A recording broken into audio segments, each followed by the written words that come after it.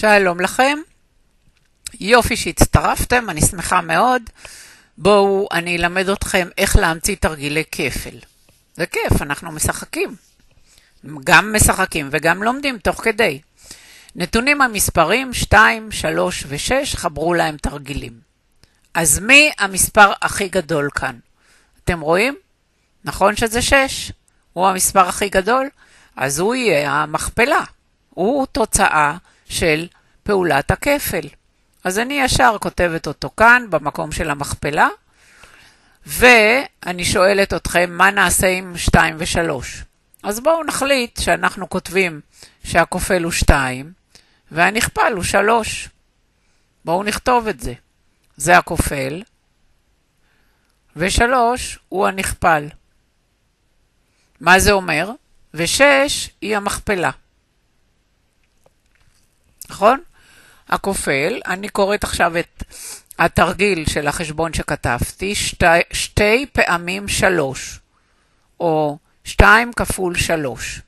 אז אני רואה שתי פעמים שלוש, אני יכולה לכתוב את זה גם ככה, שלוש ועוד שלוש, כמה פעמים? פעמיים, נכון, שתי פעמים. שלוש, וזה שש, נכון? נכון מאוד. אם אני אהיה פה על ישר המספרים, אני אדלג מ-0 פעם אחת ל-3, ועוד פעם 3, ל-6, וזו תהיה התוצאה שלי. תראו, אני יכולה לדלג גם ככה, 1, 2, 3. 1, 2, 3. ככה. אז כמה דילוגים דילגתי? פעם אחת ל-3, מ-0 ל-3, ופעם אחת מ-3 ל-6 ו-6, זו התוצאה שלי, כי זה שני דילוגים. שתי פעמים דילגתי. דילוג אחד ל-3 ודילוג שני ל-6. אז בואו נמשיך הלאה לדף הבא. הנה התרגיל הבא, נתונים המספרים 8, 4 ו-2. מי המספר הכי גדול? בין 8, 4 ו-2? מי שאמר 8 צדק. אז 8 הוא התוצאה שלי, הוא המכפלה. הוא התוצאה של פעולת הכפל. ומה אני אעשה עם 4 ו-2? אני יכולה להחליט ש-4 פעמים 2. גם שתי פעמים 4 היה נכון. זה גם היה נותן 8, נכון? תבדקו. אז מה אני עושה עכשיו? מה אני אעשה על ציר המספרים? מי יכול להגיד לי?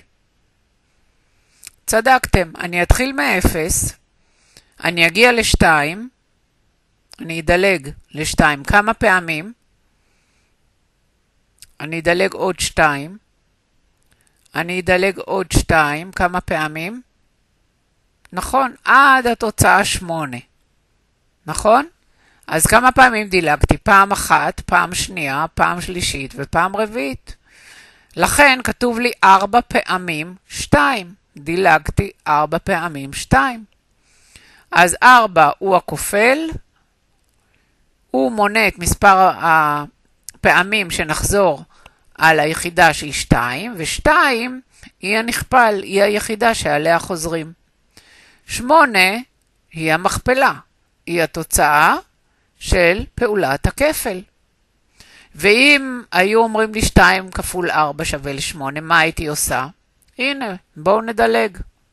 נראה כמה פעמים אנחנו צריכים לדלג, ואיך עושים את זה. שתי, כאן כתוב לי שתי פעמים ארבע. אני אדלג עד ארבע, הראשון, ומארבע אני אדלג לשמונה, לתוצאה. כמה דילוגים? אחד, שניים, שני דילוגים, נכון? יפה. אז uh, חיברנו תרגילים,